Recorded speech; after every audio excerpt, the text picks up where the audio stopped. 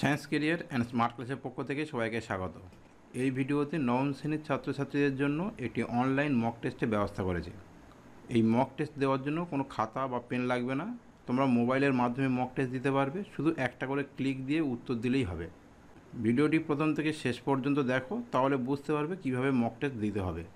ভীষণ গুরুত্বপূর্ণ প্রশ্নগুলো নিয়ে মক টেস্টের ব্যবস্থা করা হয়েছে। এখানে তোমাদের বলে রাখি মক টেস্টে তুমি কত স্কোর করেছ সেই তথ্য কিন্তু কোনোভাবে প্রকাশ করা হবে না। কেবলমাত্র তুমিই জানবে। অনলাইন মক টেস্ট দিলে তোমরা যে সুবিধাগুলো পাবে সেগুলি হলো, এক, নিজের আত্মবিশ্বাস বাড়বে। দুই, নতুন প্রশ্নের সাথে তোমাদের পরিচয় হবে। তিন, অজানা প্রশ্নের উত্তর তোমরা জানতে পারবে। চার, পরীক্ষার তুমি কত স্কোর করেছ তার সঙ্গে সঙ্গে জানতে পারবে। যদি তুমি মক টেস্টের পদ্ধতি জেনে থাকো, তাহলে পাসওয়ার্ডটি লিখে নাও এবং ভিডিও ডেসক্রিপশন বক্সে গিয়ে মক টেস্টের লিঙ্কে ক্লিক করো। এবং মক টেস্ট দাও।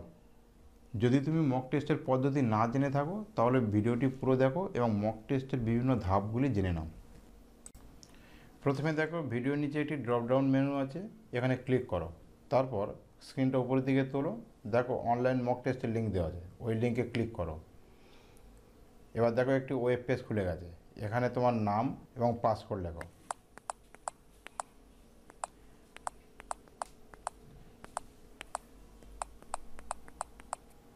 এরপর কন্টিনিউতে ক্লিক করো। এবার দেখো কোয়েশ্চেন পেপার চলে এসেছে। এই প্রশ্নপত্রের সমস্ত প্রশ্নের উত্তর দিতে হবে। কোনো একটি প্রশ্ন বা একাধিক প্রশ্নের উত্তর যদি তুমি না দিয়ে থাকো, তাহলে সেক্ষেত্রে উত্তরপত্র সাবমিট হবে না। প্রশ্নগুলোর উত্তর দেওয়ার সময় অপশানের বাম দিকে যে ঘরগুলো আছে, ওখানে ক্লিক করো। এবং সমস্ত প্রশ্নের উত্তর দেওয়া হয়ে গেলে নিচে দেওয়া সাবমিট বাটনে ক্লিক করো।